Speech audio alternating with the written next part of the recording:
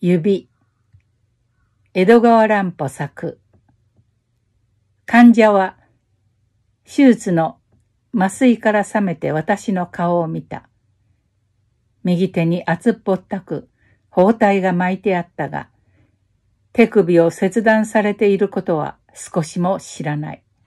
彼は名のあるピアニストだから、右手首がなくなったことは致命傷であった。犯人は彼の名声を妬む同業者かもしれない。彼は闇夜の道路で雪吊りの人に鋭い刃物で右手首関節の上部から切り落とされて気を失ったのだ。幸い私の病院の近くでの出来事だったので、彼は失神したまま、この病院に運び込まれ、私はできるだけの手当てをした。ああ、君が世話をしてくれたのか。ありがとう。酔っ払ってね。暗い通りで誰かわからない奴にやられた。右手だね。指は大丈夫だろうか。大丈夫だよ。腕はちょっとやられたが、何？じきに治るよ。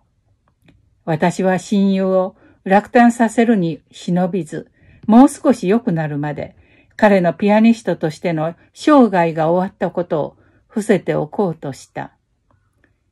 指もかい？指も元通り動くかい？大丈夫だよ。私は逃げ出すようにベッドを離れて病室を出た。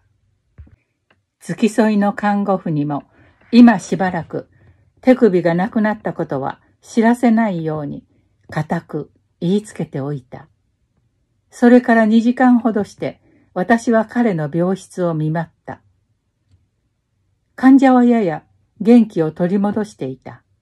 しかし、まだ自分の右手を改める力はない。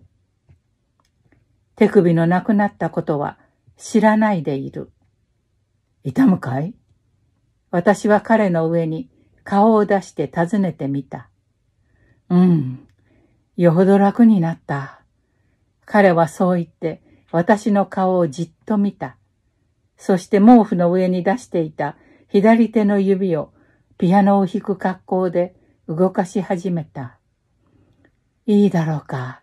右手の指を少し動かしても。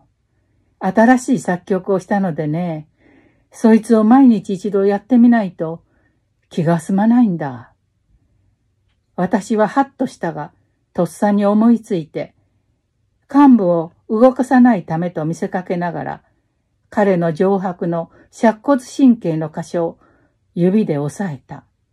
そこを圧迫すると、指がなくても、あるような感覚を脳中枢に伝えることができるからだ。彼は毛布の上の左手の指を気持ちよさそうにしきりと動かしていたが、ああ、右の指は大丈夫だね。よく動くよ。とつぶやきながら、夢中になって架空の曲を弾き続けた。私は見るに耐えなかった。看護婦に患者の右腕の尺骨神経を押さえているように、目顔で指図しておいて、足音を盗んで病室を出た。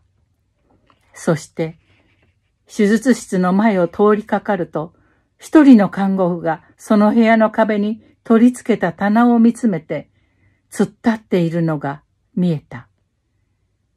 彼女の様子は普通ではなかった。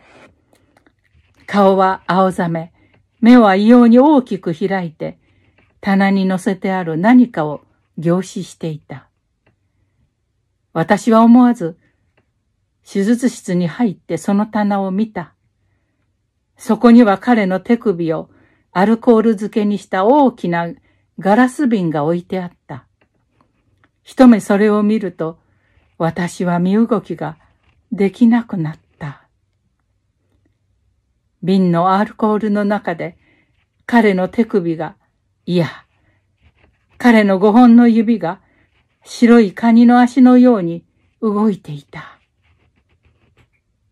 ピアノのキーを叩く調子でしかし、実際の動きよりもずっと小さく、幼児のように、頼り投げにしきりと動いていた。